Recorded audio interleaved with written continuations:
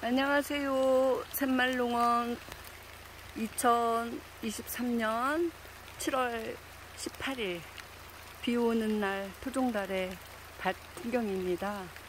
지금 전국에는 장맛비가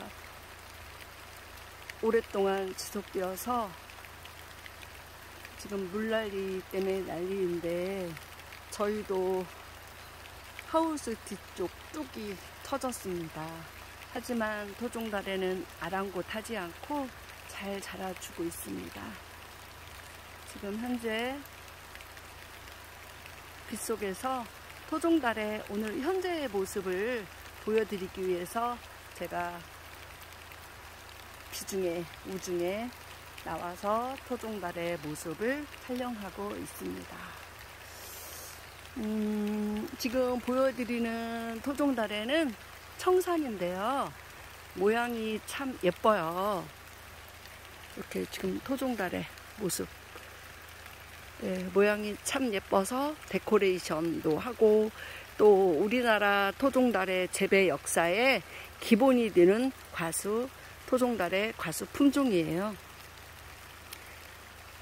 지금 이제 빠르면 9월 초, 늦으면 9월 10일 정도에 이제 수확을 할 건데요. 지금 현재 토종달에는 이만큼 컸고요. 이제 수확 직전까지 조금 더 클 거예요.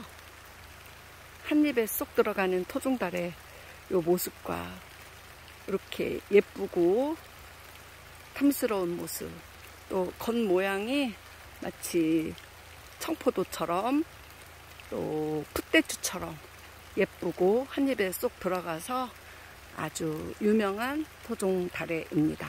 먹기도 편리하고 위생적이어서 각 급식소의 영양사님들이 가장 선호하는 베리류라고 합니다.